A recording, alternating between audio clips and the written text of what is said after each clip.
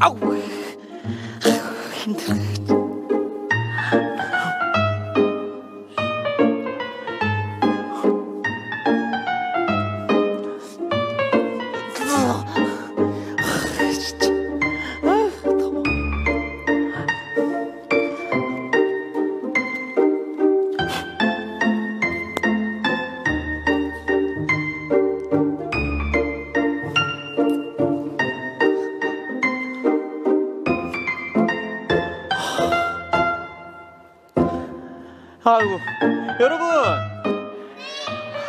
안녕하세요.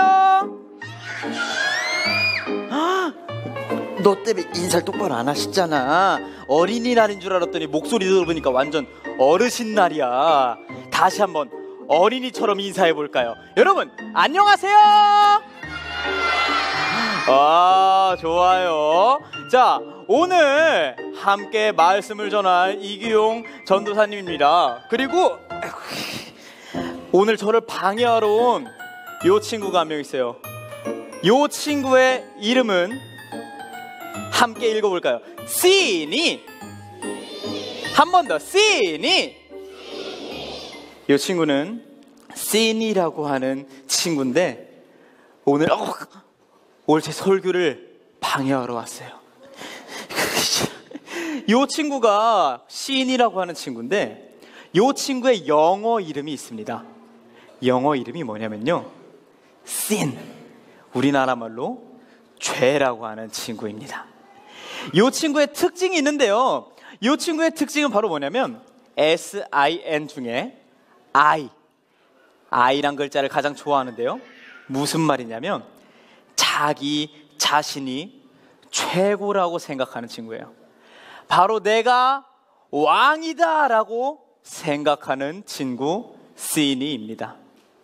그런데 참 웃긴 게 이 친구가 참, 이, 이 바본 게 성경에 아주 옛날부터 왕은 정해져 있었거든요. 그 왕이 뭔지 성경 말씀을 한번 읽어볼까요? 시편 74편과 102편 말씀인데요. 74편은 우리 남자분들이 어린이처럼 읽어주겠고요. 102편은 여자분들이 어린이처럼 읽어보도록 하겠습니다. 74편 12절 말씀 남자분들 시작!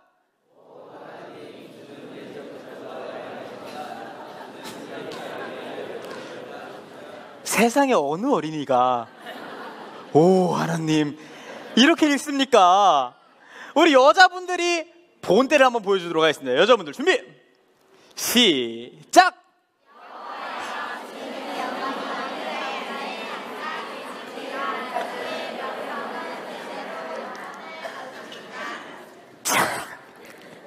이런 분위기 속에 노력해 주신 분이 한 분 계십니다.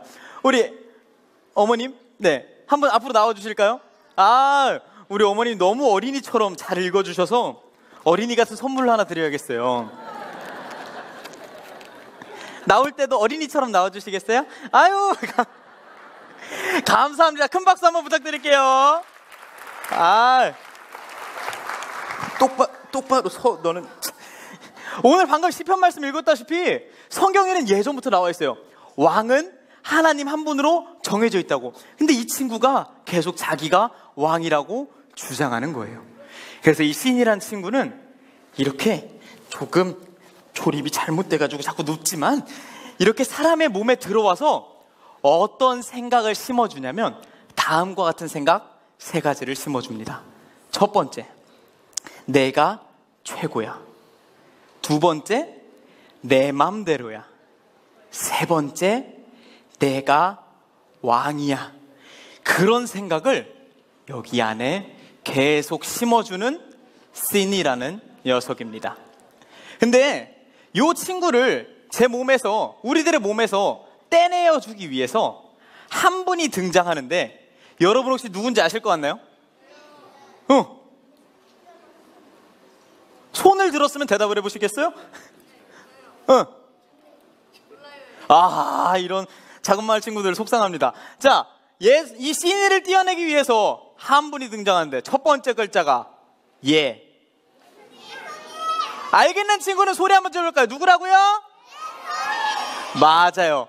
예수님이란 분이 이 시니를 우리 몸에서 떼어내주기 위해서 등장하셨습니다. 예수님이 우리를 구원하셨다는 좋은 소식을 두 글자로 뭐라고 하는지 우리 작은 마을 친구들은 외웠을 것 같은데요. 예수님이 우리를 구원하셨다는 좋은 소식 두 글자로 뭐죠? 다시 한번 뭐라고요? 와, 복음 맞습니다. 예수님이 우리를 구원하기 위해서 이 땅에 오셨다라는 좋은 소식을 복음이라고 합니다. 여기 앉아 계신 모든 어린이 혹은 어르신들이 하나, 둘, 셋 신호에 맞춰서 복음이라고 외쳐주시면 제 몸에서 요 신이는 떠나가게 될 겁니다. 한번 해볼까요? 하나, 둘, 셋! 귀등으로도 안 듣잖아요, 얘가. 목소리가 너무 작아서. 다시 한번 큰 목소리로, 어린이다운 목소리로. 하나, 둘, 셋!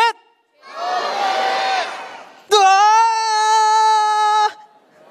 뜨아! 신이가 떠나갔습니다. 여러분, 아, 너무 감사한 일이죠? 뭐야, 이게? 시니는 떠나갔는데, 시니의 흔적이 여전히 내 몸에 남아 있습니다. 시니는 떠나갔는데, 그 옛날 모습이 여전히 내 몸에 남아 있는 거예요. 성경에선 요걸 보고 뭐라고 얘기하는지 오늘 본문 말씀 같이 한번 읽어보도록 하겠습니다. 큰 목소리로 다 같이 한번 읽어보겠습니다. 준비! 시작! 옛 모습을 벗어버리십시오. 옛 사람은 한없는 욕망으로 점점점 눈이 어두워지고 더 악하고 더러운 모습이 될 뿐입니다. 성경에서는 예수님 덕분에 신이는 벗겨졌지만 여전히 남아있는 이런 옛 모습을, 아, 이런 모습을 옛 모습 혹은 옛 사람이라고 이야기합니다. 여전히 우리 안에 이런 옛 모습, 옛 사람이 살아남아 있는 것이죠. 이 옛 모습과 옛 사람이 우리 삶에서 여기저기 간섭하는데 그 중에서 가장 잘 간섭하는 경우가 있어서 오늘 그걸 여러분에게 소개시켜 드리려고 합니다. 뭐냐면요. 같이 한번 읽어볼까요? 시작! 곳에서 편한 방법으로. 이 시니의 흔적이 가장 잘 나타나는 곳이 어디냐면 우리가 가장 편안한 곳에서 또 가장 편안한 방법으로 나타납니다. 우리에게 가장 편한 곳과 편한 방법이 무엇이냐면요. 집에서 입으로입니다. 우리가 가장 편안한 곳, 집에서 가장 편안한 상대 가족을 향해 내 입을 통해서 어떠한 공격들, 옛 모습들, 옛 사람들이 가장 잘 나타나기 마련입니다. 그래서 오늘 읽었던 본문 말씀 에베소서 4장에 옛 모습과 옛 사람을 조심하세요라고 말했던 바울 바울 아저씨가 똑같은 에베소서 말씀에서 이러한 경고를 계속 주고 있습니다. 에베소 4장 29절에서는 너 입 조심해야 돼. 너 입을 통해서 옛 사람이 진짜 잘 나타날 수 있다. 이걸 한 번 더 얘기해요. 5장 4절에서도 뭐라고 얘기하냐면 너 입속에 더러운 말이나 저속한 농담 자꾸 담지 마. 왜냐면 너 입을 통해서 옛사람이 가장 잘 드러나거든. 왜냐면 여기가 나가기 편하니까 라고 얘기해요. 그리고 에베소서 6장에서는 뭔 얘기하냐면 무려 22절부터 33절까지 긴 절 동안 가족들을 대할 때 어떻게 대해야 하는지 경고하고 있습니다. 왜냐하면 가족들을 대할 때 가정이라는 편한 곳에 있을 때 이 옛 모습이 드러나기 가장 쉽기 때문입니다. 오늘 말씀을 통해서 우리의 가장 편한 곳 집, 우리의 가장 편한 방법 입을 통해서 옛사람이 나타나는 걸 방지하기 위해 성경에서 나타나는 다섯 가지 해답을 오늘 여러분과 함께 나눠보려고 합니다. 이 옛 모습 벗어버리기 위해 첫 번째 단계입니다. 짠! 먼저 이 새끼 손가락을 벗겨 보도록 하겠습니다. 비, 하이, 자, 새끼 손가락. 여러분, 새끼 손가락은 보통 어떨 때 쓰죠? 약속할 때 씁니다. 어, 다시 어르신 날이 됐는데요? 다시 한번 새끼 손가락 어떨 때 쓰죠? 약속할 때 씁니다. 우리가 새끼 손가락을 보면서 내가 집에서 옛사람이 나타나지 않게 하기 위해 첫 번째로 해야 할 일은 같이 한번 읽어볼까요? 시작! 우리 가정의 믿음의 약속을 세우자. 신명기 6장 말씀에 어떤 게 나타나냐면 하나님께서 인간들에게 계명을 줍니다. 쉽게 얘기해서 하나님과 인간 사이에 지켜야 할 믿음의 약속을 우리에게 주신 겁니다. 그리고 이 약속을 주시면서 하나님이 뭐라고 말씀하시냐면 이걸 잘 기억해야 되는데 특히 어디다 적어놓고 기록해야 되냐면 기억해야 되냐면 집에다가 적어놔. 왜냐하면 집에서 우리는 잘 까먹기 마련이기 때문이에요. 하나님과의 약속을 교회에 오면 잘 지키며 살아가는 것 같아 보이는데 집에 가면 자꾸 하나님과의 약속을 잊어버리게 됩니다. 여러분과 하나님 사이 새겼던 여러 가지 약속들이 있다면 그것들을 집 버전, 가정 버전으로도 많이 세워놓길 추천드립니다. 예를 들면 우리 가족은 식사 기도할 때 한 명씩 돌아가며 자기 목소리로 기도를 한다든지 우리 집에 힘들고 어려운 일이 닥쳤을 때 우리는 반드시 기도하고서 해답을 찾는다든지 하는 가정들만의 신앙의 약속, 믿음의 약속을 세움으로써 이 예습관을 한꺼풀 벗어버리기를 추천드립니다. 두 번째는 약지 손가락을 벗어볼 텐데요. 자, 약지 손가락입니다.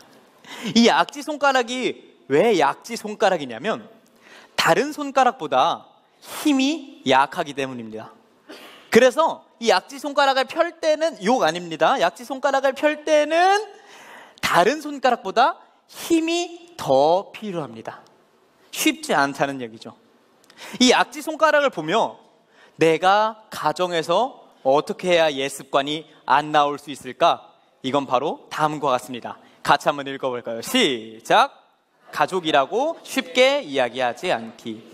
때론 우리는 가족이기 때문에 너무나 쉽게 상처되는 일들, 기분 나쁜 말들을 툭툭 내뱉게 될지도 모르겠습니다.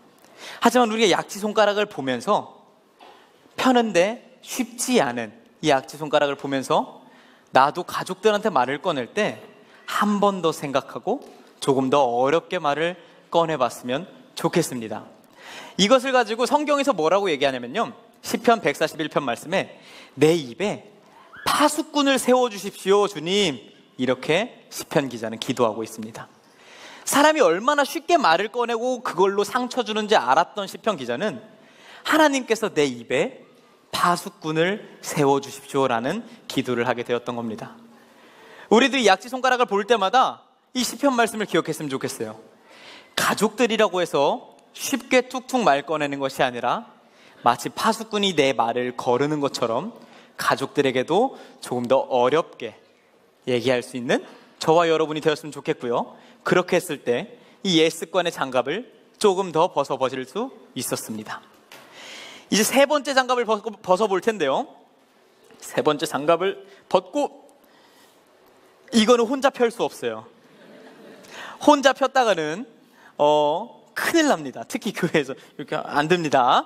요 세 번째 손가락은 흔히 아시다시피 상대방한테 심한 욕을 할 때 쫙 펴곤 합니다.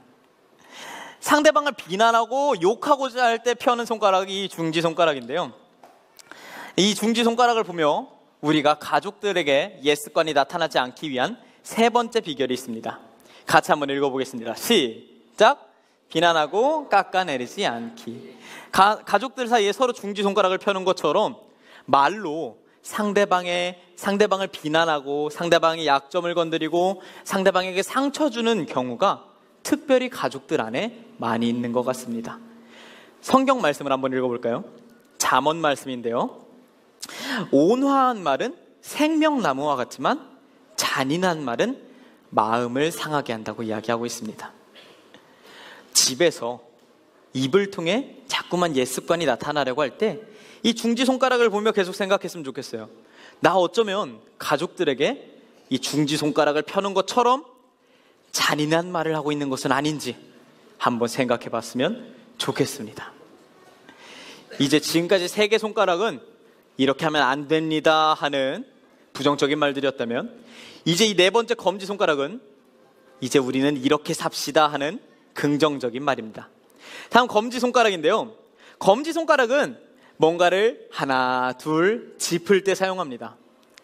우리 가족들 사이에 서로 칭찬할 때 하나씩 찝어가며 구체적으로 칭찬할 수 있는 저와 여러분이 되었으면 좋겠습니다.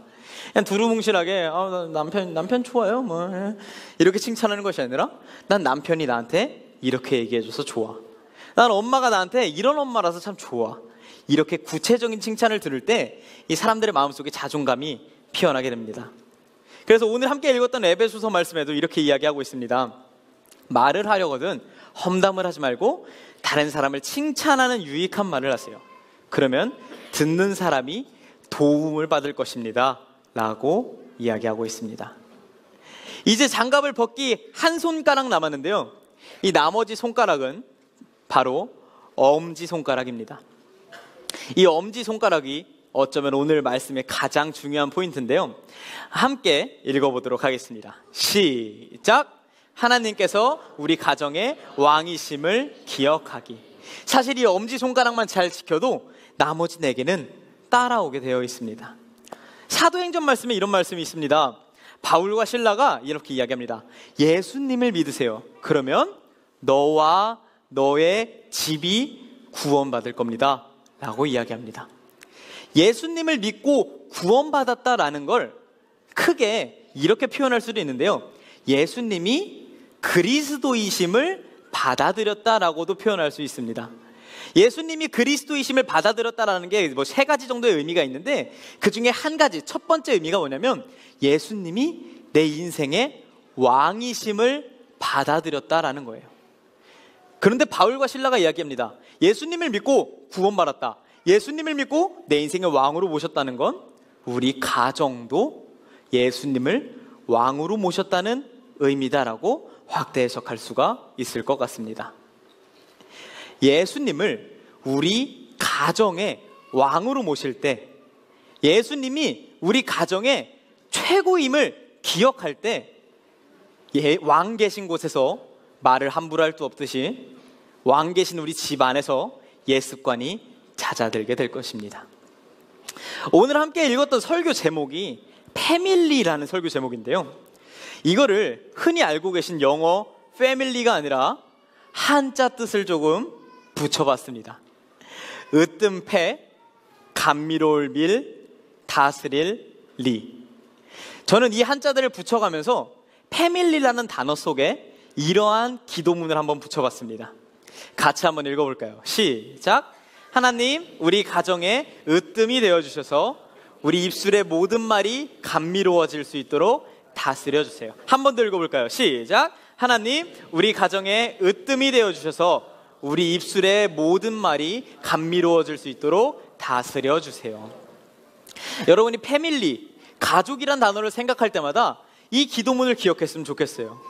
가족이라 그래서 편한 곳이라 그래서 내 입으로 계속 나왔던 나의 옛 습관들, 옛 모습들을 이제는 벗어버리고 가족이라고 해서 상처 줬던 말들, 미웠던 말들 이제는 버려버리고 하나님을 더욱더 사랑하고 하나님을 으뜸으로 모셔서 우리 가정의 모든 말들이 감미로워질 수 있도록 그렇게 기도하고 실천한 여러분이 되었으면 좋겠습니다.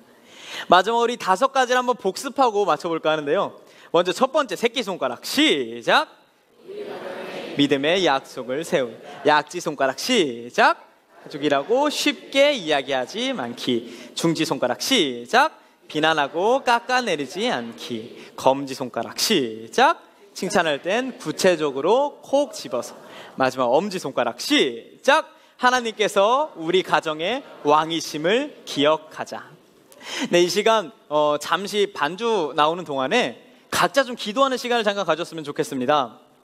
기도하실 때 혹시나 자녀분들 혹은 손자 손녀분들 뭐 이렇게 같이 오신 분들 계시다면 한번 품에 꼭 안고 기도했으면 좋겠어요. 아니면 자녀분들과 같이 안 오신 분들 계시다면 다른 가족들 손을 한번 잡아봤으면 좋겠고요. 혹시나 오늘 이 자리에 혼자 오신 분들 계시다면 가슴에 손을 얹고 가족들을 생각하면서 기도했으면 좋겠습니다. 기도하실 때 두 가지 기도 제목을 놓고 기도했으면 좋겠는데요. 첫 번째 기도 제목은 혹시나 내가 가족이라고 해서 편하다고 해서 너무 쉽게 그들에게 내 옛 모습, 옛 사람을 드러내진 않았나 생각해보고 만약에 그랬던 적이 있다면 하나님께 회개하고 가족들에게 용서를 구할 수 있는 그런 기도를 했으면 좋겠고요.